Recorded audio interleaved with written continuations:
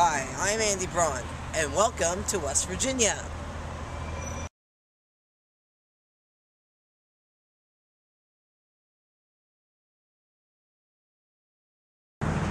Welcome to Hurricane, West Virginia. Population 6,200. You may wonder why it's pronounced hurricane when it's spelled hurricane. And I wondered that too when I moved here a couple years ago. And believe it or not, I still have absolutely no idea why. West Virginia's main export is coal.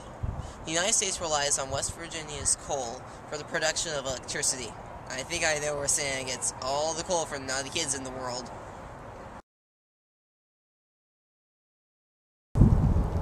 The main attraction of our town is the wave pool park right behind me.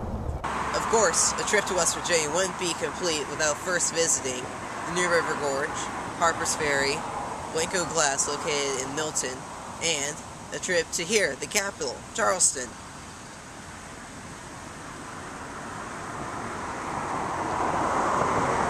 Here in West Virginia, people like to hunt, fish, and boat on places such as the Kanawha River.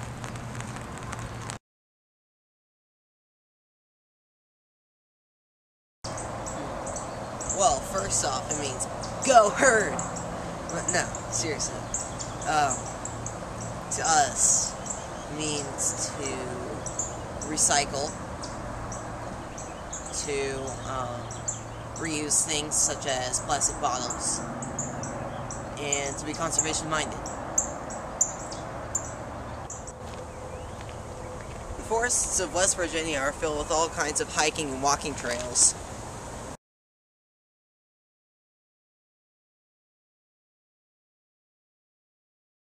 Topic I would like to try and tackle would be world hunger.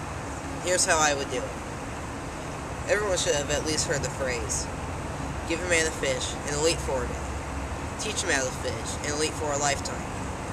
What I'm going to do is I'm going to take that phrase and turn it into a program in which all people can learn to become self-sufficient and to become successful in life too.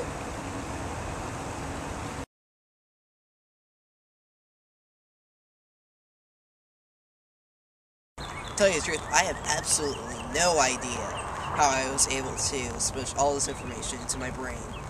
But I can share you of my study tips. Don't study from just one source. Vary your sources.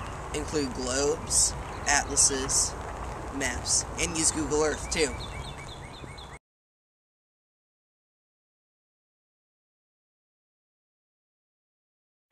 I bet you didn't know that off the coast of Dubai there's a man-made archipelago that was created in the form of the continents of the world. Well, that's all for West Virginia. See you in DC.